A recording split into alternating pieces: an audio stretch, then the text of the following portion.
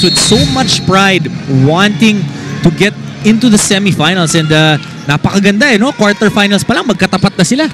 The most storied franchise in the PBA, etong Petron, which used to be called San Miguel, versus the most dominant as of late team in Talk and Text. Well, you look at Talk and Text, definitely they have been very dominant in the last few years.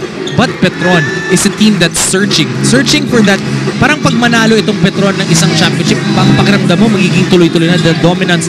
When they figure out how to win, it's going to be so difficult to beat Petron. How about Talk and Text starting the playoffs from the number 6 spot? Uh, Sila po yung pang-anim na seed. Unfamiliar territory yan, Dom. Sanay na sanay yan. Nasa ibabaw palagi. Paano kaya sila magre-respond dito? Well, it's a test of character. Again, for Talk and Text, hindi nga sila sanay dito. And if you look at their statistics this conference, they're not the number one defensive team. And they have been winning consistently previously because of their defense. Mintis yung unang atake ng tropang Dexters, Petron. Now on the move, aaning na segundo natitira sa kanilang shot clock. Malayo yung tres galing kay Lassiter at yun nga yung binabanggit mo, no? si Reyes yung tumatao sa kanya. Well, he has the assignment of trying to stop a Marshall Lassiter. Marshall, you know, he's had playoff experience nung nandun pa siya sa Powerade. So you expect him na pupuntahan siya talaga ng Petron. And you look at Marshall, he's the number one leading Lotus. Kind of took a back step. But now that, that they feel that they need a lot more from Arwin Santos, especially yung fiery nature niya. Si Arwin kasing fiery nature niya, pinapakita niya sa laro niya with, in terms of his aggressiveness off the boards. Rani Del De Ocampo gets TNT on the board. Tubit may tanga ng bola sa kabilang dulo. Santos will offer the pick. Hinahanap nila si Sims dun sa poste. Quick hands on the part of Jordan. Gets the ball back over to Tubit. Limang segundo na lang sa shot clock. Ranidel takes it away. Alapag finds Dillinger on the run. Three on two. The Daredevil finishes with a left hand. Well, Jared Dillinger, one of the guys who's really made an impact in the Smart Gilas program and yung kumpiyansang yun dinadala niya dito you know you're usually when you look at Jared Dillinger parang second string siya sa talk and text they're that they're that strong and depending on sino makakalaban nila but basketball tong si Denok Miranda his free throw shooting is one of the things that uh, he needs to improve on 4-1 is the score. Yung split gets Petron on the board. Barely two minutes into the action. Dillinger looking for Jordan. Sims meeting Jordan all the way up top. Hindi makatanggap si Alapag. Ganda naman ng depensa ni Miranda. and that's the defense that you want you don't want Jimmy Alapag to create for his teammates so you delay it ngayon makita mo yung shot clock one second there Ranidel couldn't bail him out. Sims for the rebound. Tubit directing traffic. Pupunta muna kay Sims. Lassiter sa kanyang kaliwa. Sims puts it on the floor. Teardrop is good para kay Henry. using his quickness that time against the talk and text import kabilang dulo, mga ngalabaw naman si Jerome Jordan. Nakuyog siya doon, humihingi ng foul ang buong bench ng Petron dahil binigyan pa raw, pinag-iwanan ng pasalubong itong si Tubit. Malamang exchange gift naman yun. si Tubit yung katapat mo doon as Denok gets the short one. Well, nobody trying to stop Denok Miranda on that drive.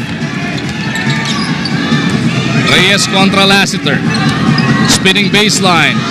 Reyes gustong mga tawan. Taking the contact and will through to the line for tribute ni Coach Norman ng minuto sa kanyang mga tropa.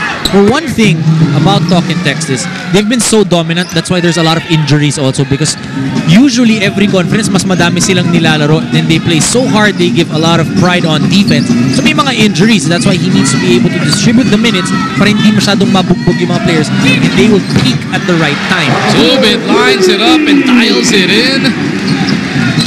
Petron now up by 2, 8-6. Jordan, deep position. Sinabayan pa rin ni Sims. Oh, great defense that time by Sims. Kita mo gaano kahirap yung tirang ginawa na ni Jordan.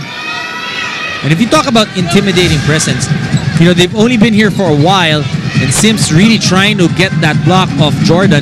And itong si Sims, batang-bata pa yan. So just experience is what he needs in this ballgame.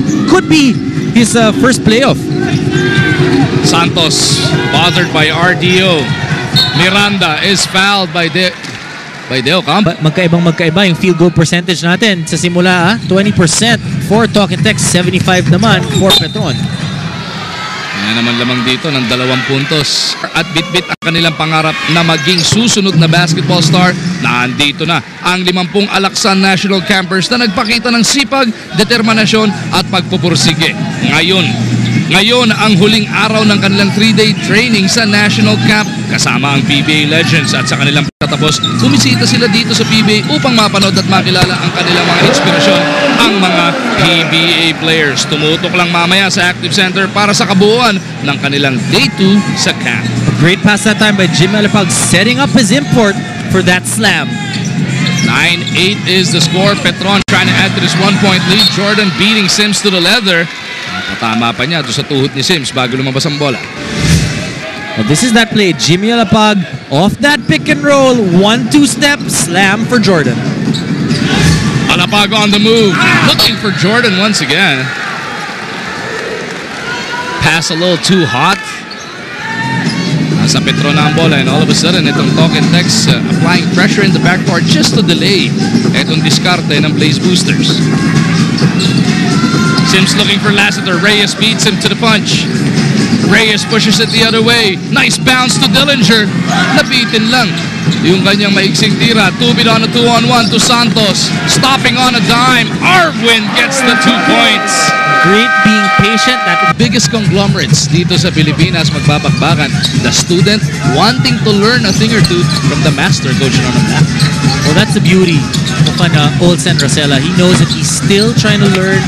Know, he has a lot to learn pa dito sa pag-coach dito sa PBA.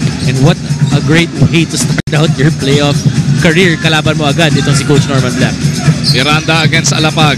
Tingin ng Pique Santos. Then off to Arwin from the outside. Long two is out. Dillinger para sa rebound. Both teams sticking with their starting units here. Coming up on the halfway mark ng quarter number one. Jordan looking for Alapag. Kay Reyes na lang inabot ang bola. Reyes for three. Punches it through. Ryan Reyes with five points already here in the first quarter. Yung unang dalawa niya nanggaling sa free throw. Just a smart place for Ryan Reyes. Tabla sa 11 ang ating bakbakan. First deadlock of this contest. Lassiter to Santos. Puts it on the floor. Offensive foul whistled there on Arwin Santos as he tried to recover that lone pass. So far, nahihirapan talaga itong si Marshall Laster dun sa depensa pinapakita ni Ryan Reyes. And that's again, the plays for Talk and Text. They need to be able to defend that pick and roll na pinapakita ng Talk and Text. Narito na siya, pinasok na ng tropang Dexters. As Alapag looking to operate, they swing it around. Reyes, nice bounce to Jordan. Two-handed jam.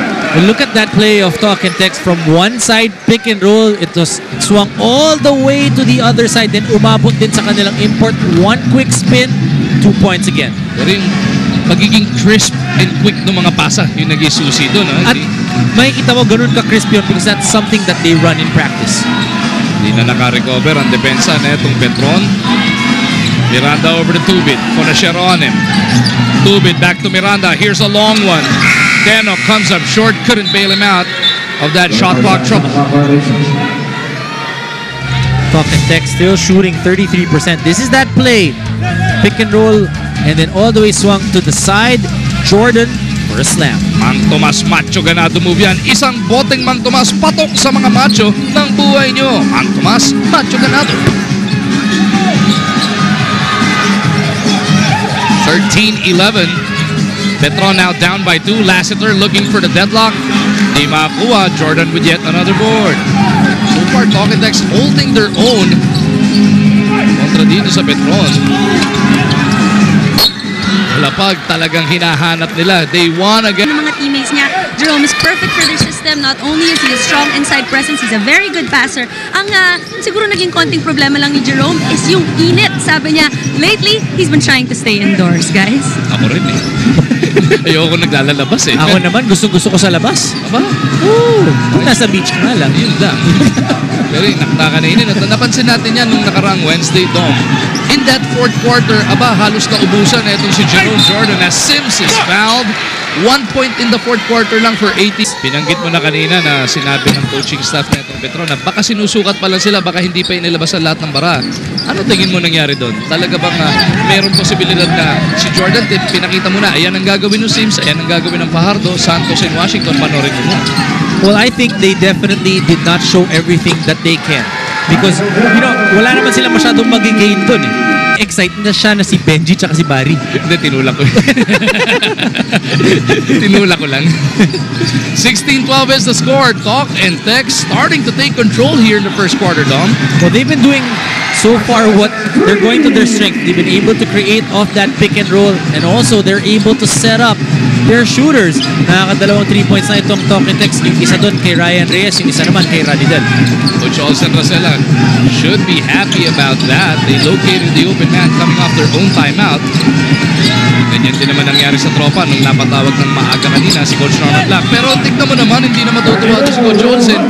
Wala nang nag-recover doon sa atake ni Deo Campo. Well, too easy para kay Ranidel de Ocampo. One dribble, two steps, all the way to the basket and nobody helped. Abagnot with a pull-up. Scampering for it pero naunahan siya ni Fonacher. Castro is bothered by Lassiter. Mananatili ang possession dito sa tropa. Take another look at that last attack by Ronnie Del. Getting the drop on Arwin Santos. Nobody home para sa Petro. Somebody should be helping on that other side. Strong side pa naman ni Ranidel de Ocampo yan. Aban pumasok na. Pasama pa si Aloseni para dito sa tropa. Castro with the leather. Steps on the gas. Natagaan ni Cabagnot pero pati braso kasama. So far for Talking Text, Castro overshoots it. Nananatiling tatlo ang abante ng tropang Texters. Lutz now on the floor para sa Petron. Gets it over to Sim. Sims on the move. Puts it up and in. So far, Sims already with five points. Two times that he went to the basket using his quickness, he was rewarded. Nasa isa ang abante ng tropa. Less than two and a half remaining in quarter number one. Bonasher may tangan. At higit sa kanyang parang linta. Etong si Marshall. They go to Jordan. Fajardo had a hand on that rebound and finally collars it para sa Petron. Well, let's see if Jumar Fajardo can duplicate that game that he had last Wednesday. Double-double performance yun, ano? But this time around, mukhang handa ang tropa slapping that leather away. Two-minute warning na in first quarter. Castro bigla na lang umatake. Ang bilis talaga ng hindi first step eh, first three steps dito ni Castro. Pero Cabagnot able to get to that passing lane. Alipik, pumasok para kay Jordan. Sinabayan naman ni Washington ng pagrelyevo dito kay Lassiter yun. Shot clock is at 8 para sa mga nakaputi. Castro lines up a 3. Bang! Every time on that pick and roll, hindi nakakahabol yung mga primary defenders. Jason Castro now with his first three-point shot and the third for Talking Text this quarter. Papaulan ng tres dito ang TNT. Makakabawi ba ang Petron? Lutz on the move. Gets it out to Sims. Pull-up jumper. Henry delivers. That's what you like about Sims. He's steady from the outside. He has that jumper and he's not afraid to take that shot. Basta dalawang hinahabol dito ng Blaze Boosters. Castro kontra Cabagnot. Aloseni will offer the pick. Castro in traffic. Puta tayo nabot! Mula dito kay Sims. One thing I noticed with Sims, dun sa kanyang mga laro dito eh, halos lahat ng mga tirang napupunta sa harapan niya, hinahabol talaga niya. At kahit medyo malayo pa, hinahabol pa rin itong si Henry Sims. 2.3 shot, shot blocks per ball game ang average niya ni Henry Sims. Nakakuha pa siya ng rebound doon. Magkakataon ng Petron makatabla. Fifth rebound of the game for the Petron import. Lutz with a pull-up. Overshoots. The Kraken in traffic. Nice jab step fake. Nawalan pa rin ang bola doon sa traffic. Oh, good team defense that time by Talking Text. Maganda yung pag-help ni Harvey Carey. Castro goes the other way. Fonacher puts it on the floor. Pull-up jumper on top of Sims. Wala. Harvey carry. Offensive rebound. Dex will reset this attack. Slight differential between the quarter clock and shot clock. Dex has 12 seconds to work with. Castro winding down the time. Now starts to make his move. Two to shoot. Castro for three. Not that time around. That'll do it para sa unang